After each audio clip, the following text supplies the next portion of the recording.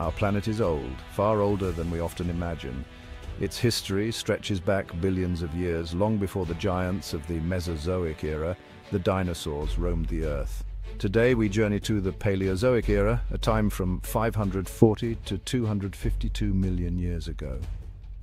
The Paleozoic was a time of immense change, a dramatic unfolding of life in Earth's oceans and eventually on land. Imagine a world without trees, without flowers, a world where the very continents themselves were in motion, shifting across the globe. This era is divided into six distinct periods, each marked by unique creatures and environments. We begin with the Cambrian, a time of incredible diversity, then move through the Ordovician, Silurian, Devonian, Carboniferous, and finally the Permian. Come, let us explore these ancient worlds where life first experimented with countless forms and laid the foundation for the world we know today. The Cambrian period, beginning 540 million years ago, marks a pivotal chapter in the history of life.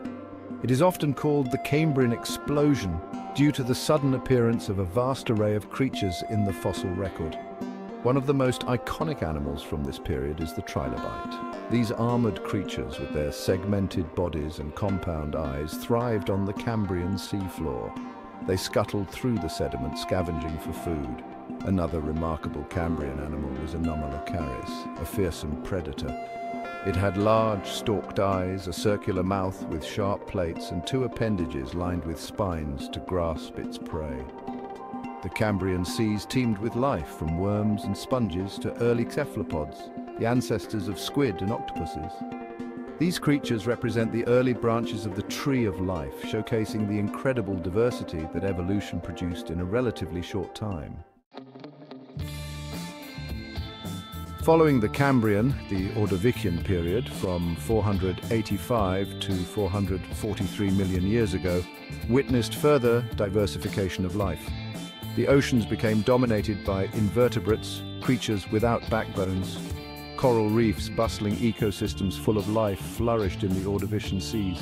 Crinoids, also known as sea lilies, anchored themselves to the seafloor, their feathery arms filtering food from the water. Brachiopods, shelled animals resembling clams, also thrived in these environments. The Ordovician also saw the rise of cephalopods like the nautiloids. These relatives of the modern nautilus had streamlined shells and used jet propulsion to move through the water, hunting for prey with their tentacles. However, the end of the Ordovician was marked by a mass extinction event, likely caused by climate change. Many species disappeared, paving the way for new forms of life to evolve. Section 4, Silurian Seas and Devonian Rise, Life Ventures onto Land. The Silurian period, from 443 to 419 million years ago, saw the recovery of life after the Ordovician extinction. During the Devonian period, life began to colonize land.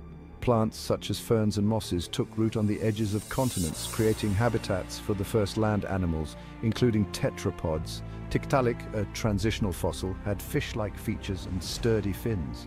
The Devonian also saw the rise of insects, spiders, and other arthropods. Life on land was beginning to flourish. Section 5, Carboniferous and Permian from swamps to the brink.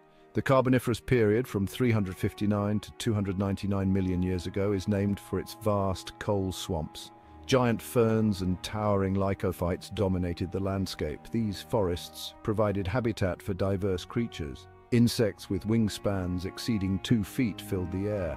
Amphibians thrived in the swamps, the Permian period saw the rise of reptiles, ancestors of mammals. The end of the Permian marked the largest mass extinction event. The Paleozoic era ended, paving the way for the dinosaurs.